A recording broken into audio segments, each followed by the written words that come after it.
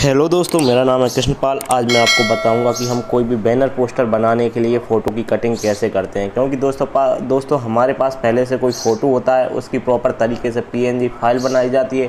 PNG file के लिए हमको एक कटिंग करनी होती है। दोस्तों, उसके लिए आपको पिक्सार्ट ऐप की डाउनलोड को डाउनलोड करना पड़ेगा। प्ले स्टोर से जाकर सिंपली उसको डाउनलोड कर सकते हैं। दोस्तों, आज मैं आपको बताने जा रहा हूँ कि हम बैनर बनाने के लिए फ़ोटो की कटिंग कैसे करेंगे। तो चलिए स्टार्ट करते हैं। उसके लिए हम सबसे पहले एल्बम या फ़ोटोज़ में चले जाना है। देखिए, मैं आपको इस फ़ोटो की कटिंग कर कर दिखाऊँगा। दोस्तों, इसको शेयर पर क्लिक करेंगे। शेयर पर क्लिक करने के बाद हमें सीधा चले जाना है पिक्स आर्ट में। देखिए दोस्तों, मैं पिक्स आर्ट पर क्लिक कर दूँगा इसको। मैंने सिंपली पिक्सार्ट पे क्लिक कर दिया है। यहाँ थोड़ा सा लोडिंग ले रहा है।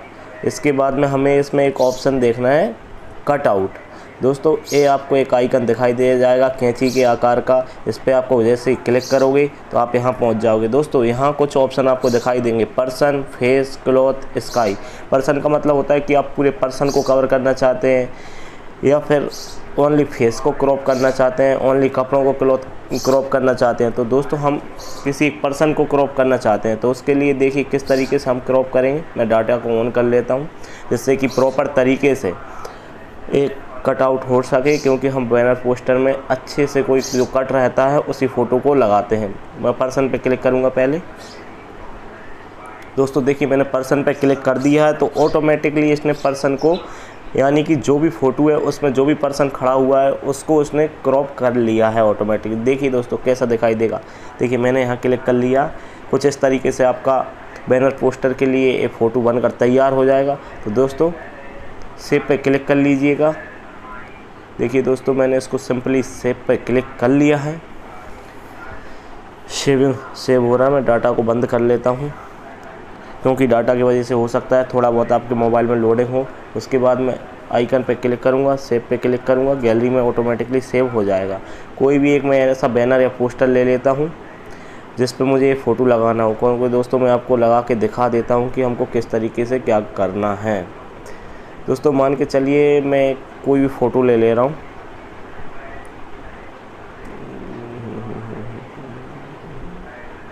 मैं ये फ़ोटो लेता हूँ। इसी पे मैं इसको लगा के दिखाऊँगा दोस्तों।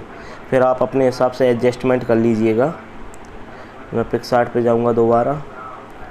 यहाँ ऐड फ़ोटो पे क्लिक करूँगा। जो अभी मैंने फ़ोटो लिया था इसको यहाँ कर दूँगा।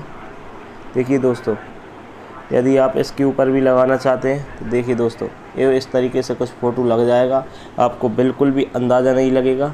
थोड़ा और मैं बड़ा कर दूँगा।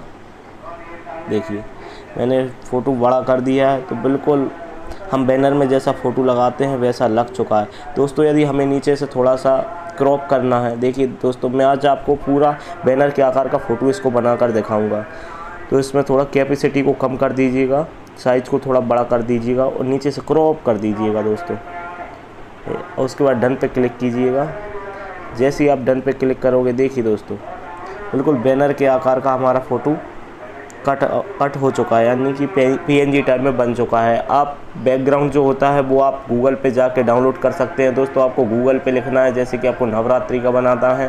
देखिए दोस्तों, मैं आपको एक बार दिखा भी देता हूँ। यहाँ लिखूँगा कि मैं नव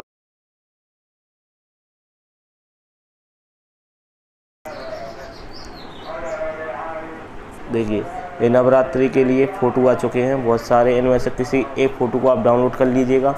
दोस्तों देखिए, इस तरीके से आपको कोई भी फ़ोटो ले लेना और इसको जाके आप सीधा पिक्सार्ट में जाके बैनर और पोस्टर बना सकते हैं। दोस्तों, आशा है आप समझ गए होंगे। यदि कोई भी प्रॉब्लम है, आप मुझे कमेंट कीजिएगा। मेरा टेलीग्राम का लिंक आपको डिस्क्रिप्शन में मिल जाएगा। आप वहाँ जाके ज्वाइन कीजिएगा। मैं आपको एक एक बारीकी से जानकारी वहाँ भी बताता रहूँगा। चैनल यदि अच्छा लगा हो तो सब्सक्राइब ज़रूर करें। धन्यवाद।